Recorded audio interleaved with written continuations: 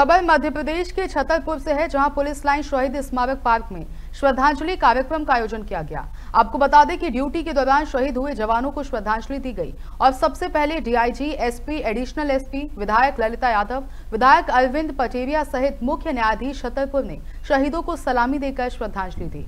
इस अवसर पर शहीद आरक्षक जितेंद्र सिंह की पत्नी को डीआईजी ललित शाकिवार ने शाल श्रीफल भेंट कर सम्मानित किया।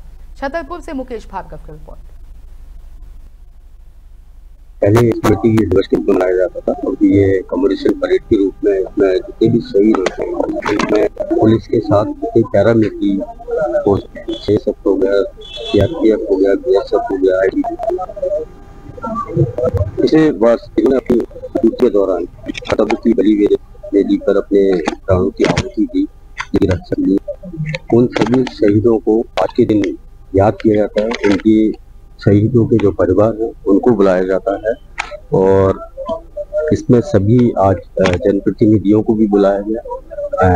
डीजे साहब भी इस मौके पर उपस्थित थे। सभी ने शहीदों को याद करते हुए श्रद्धांजलि अर्पित की।